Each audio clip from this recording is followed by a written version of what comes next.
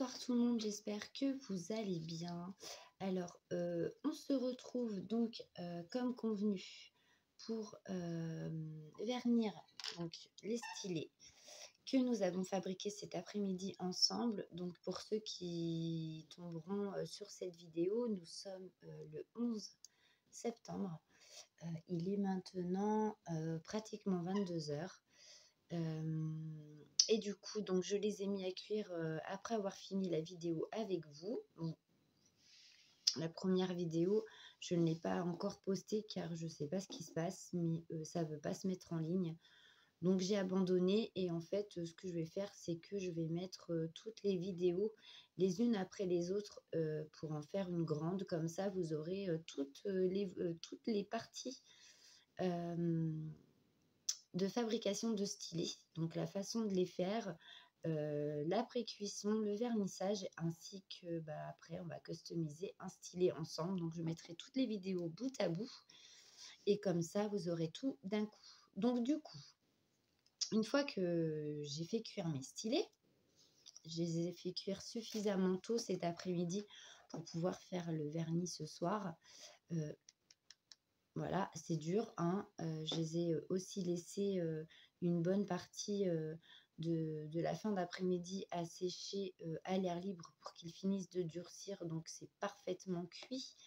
Donc, comme vous le voyez, ceux-ci, je ne les ai pas loupés. Ils ne sont pas gondolés. Donc, voilà, après cuisson. Donc là, c'est un peu mat hein, parce qu'ils ne sont pas vernis. Donc là, ils sont vraiment à l'état naturel encore. Voici celui-ci. Voilà, voilà. Donc, on va les vernir ensemble. Je les laisserai sécher donc toute la nuit. Et demain, ils seront parfaitement secs. Et nous pourrons en customiser un.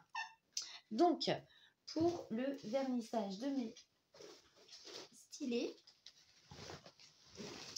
j'ai donc besoin de mon vernicole. Donc, c'est celui-ci. Euh, que j'ai eu euh, donc à Action. Donc, euh, il coûtait 1,59€ si mes souvenirs sont bons. moi, personnellement, tous les actions ne sont pas rangées de la même façon. Lorsque Roselyne a voulu se le procurer, elle l'a eu dans le rayon peinture.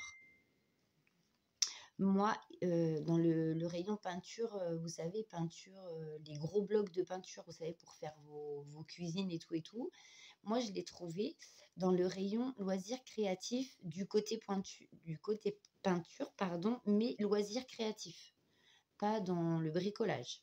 Voilà, donc après, chaque action a sa façon de ranger ses produits. Donc, cherchez bien dans les deux rayons si jamais vous ne le trouvez pas. Donc c'est l'acrylique varnish gloss. Surtout vous prenez le gloss, pas le mat, parce que sinon ça va pas briller. Ensuite, je prends une petite coupelle comme ça euh, de Diamond Painting qui me sert exclusivement qu'à mettre mon vernis colle ou la colle. Hein. Euh, je les rince euh, après les avoir utilisés, mais du coup, je garde toujours la même coupelle il me faut un petit pinceau. Donc, euh, moi, je prends toujours celui-ci. Donc, c'est pareil, hein, ils viennent de chez Action. Donc, excusez, je vais couper le son de mon téléphone. Voilà.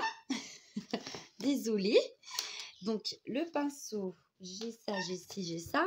Impeccable. Et là, du coup, pour les vernir, je vais me munir de d'autres pics à brochettes je vais me munir de ces pics à brochettes là avec le rectangle en bout comme ça euh, pour maintenir mes stylés et les vernir correctement. Euh, et ben j'ai pas besoin, euh, vous voyez ça tient, voilà, ça passe pas et je peux les vernir tranquillement. Voilà. Et bien on va les enfiler. Hop. Donc ma petite coupelle. Donc n'en mettez pas trop parce que du coup, si vous en mettez trop, le produit est perdu. Parce que comme vous voyez, on ne peut pas le remettre dedans. À moins de dévisser peut-être. Ah bah oui Bon bah ça se dévisse. Bon bah c'est cool. Je savais même pas. Bon bref, j'ai appris un truc. Hop. Et bon, euh, heureusement que j'ai dit de pas en mettre de trop. Donc, je prends mon stylet. Alors, je vais vous mettre mieux peut-être. Voilà. Comme ça. C'est plus facile pour moi et pour vous. Donc, vous faites trempette. Hein. Et du coup, on vernit. Alors, si vous avez fait des rainures, euh, vernissez bien de partout, même à l'intérieur des rainures. Alors là, ça fait comme une petite pellicule blanche, vous voyez. N'ayez pas peur. Une fois que votre stylet sera sec, ça ne se verra absolument pas. Voilà.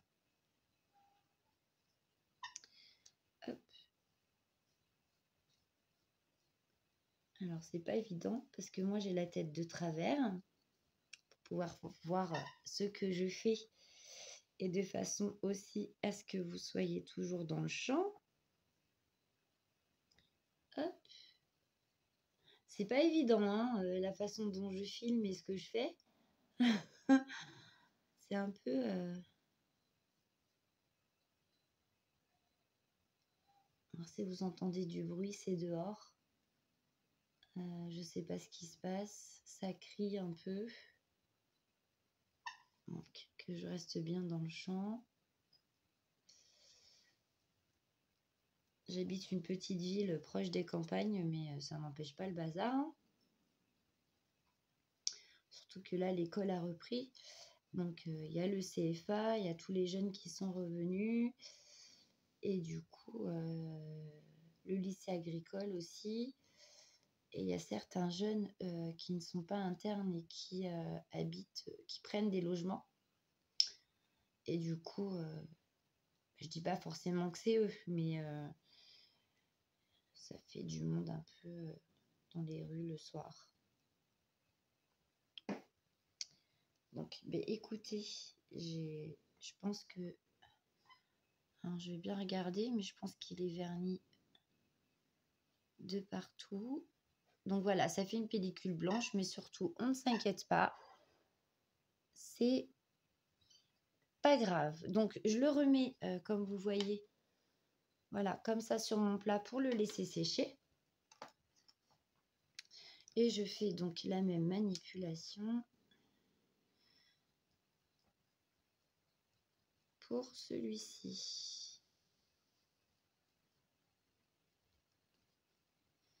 Misty.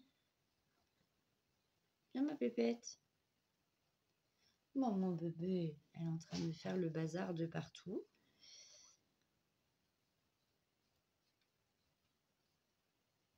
Alors Liam va un peu mieux. Il ne m'a pas refait de fièvre depuis euh, ce week-end. Donc il a eu un épisode de fièvre samedi. Donc hier on était dimanche, donc il m'en a fait aussi. Et là il n'y a plus rien enfin plus rien. Le rhume et tout, le gros rhume et la toux est toujours présente, mais euh, il n'y a plus de, il a plus de fièvre. Donc mon rendez-vous est pris pour demain avec son médecin. Donc on va quand même voir ce qui se passe s'il y a besoin d'antibiotiques ou pas. Euh, et voir ce qu'il a. Et, euh, et, voilà.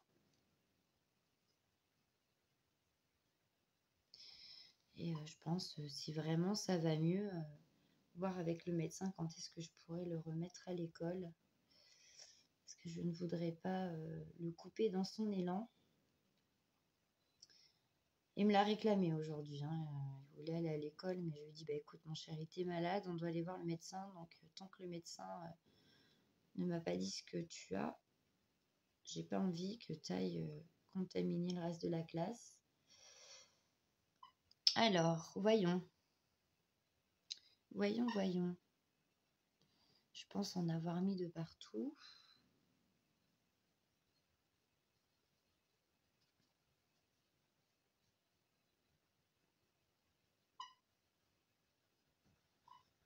Écoutez, ça m'a l'air... Euh, ça m'a l'air bien. Au pire, dans le doute, je repasserai peut-être une couche tout à l'heure si euh, ça sèche bien. En général, ça, sèche quand même assez, euh, assez vite. Hein. Et hop, je vais prendre le troisième et euh, on va faire la même chose. Et voilà, celui-là, il est magnifique. J'aime beaucoup. De toute façon, à partir du moment où c'est rouge, j'aime. Voilà. j'aime les autres aussi, hein. Mais celui-là, je l'aime bien. Plus que les autres.